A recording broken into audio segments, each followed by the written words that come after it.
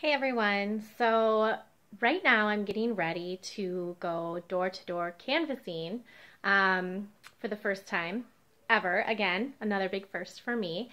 And it is 35 degrees outside. It is extremely windy and it is like pelting snow slash sleet slash who knows what's coming out of the sky.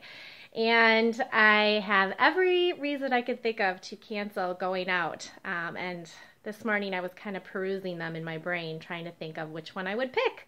Um, I have a son who's five who has a 102 temperature, but dad is home and is fully capable of taking care of him and the other three. Um, I have a baby who is nursing, and she recently decided to refuse the bottle, so I am her only source of milk.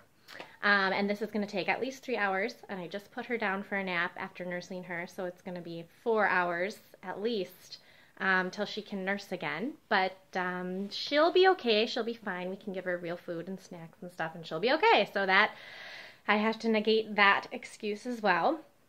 Um, there's also the excuse that I've never done this before. I don't feel prepared enough. I don't feel smart enough. I don't feel like I know um, exactly what I'm talking about on all subjects politics.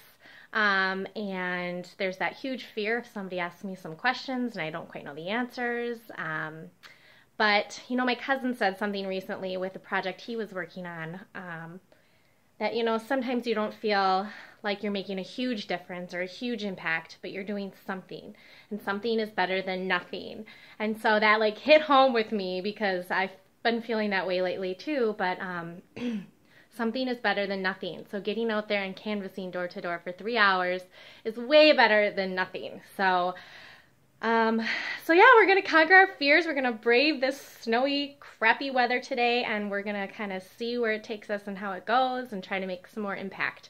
Um, and then it's just all for our kids, anyways. As I was putting Olivia down for her nap, I looked at her and I'm like, "You're the reason I'm doing this. You're the reason, and that's plenty reason to go out there and do this." So, um, so yeah, we'll see how it goes. I'm a bit nervous, but I'm really excited too. So uh, we'll see.